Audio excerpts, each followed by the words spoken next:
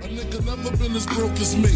I like that. When I was young, I had two pair of leads. Besides that, the pinstripes in the gray. Uh-huh. The one I wore on Mondays and Wednesdays. Uh-huh. While niggas flirt, I saw with tigers on my shirt and alligators. Uh-huh. You want to see the inside, but I see you later. They come to drown.